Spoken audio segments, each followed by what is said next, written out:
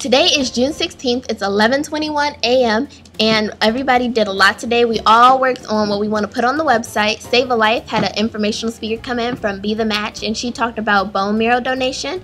Um, we took group photos to go on up on the website and we picked out what we want to use to make our fake blood.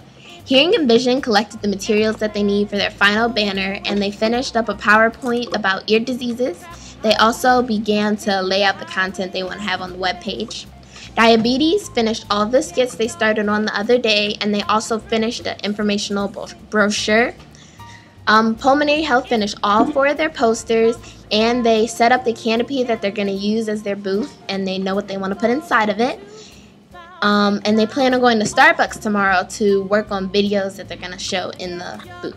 Heart Health is working on making their t-shirts. They also laid out the plan they want to have for the trifold board and they called several organizations asking for information. Um, the PR group began and got a lot of work accomplished on designing the website. They um, consolidated some of the video blogs. They also took pictures of all the groups and they um, worked on videos for the documentary.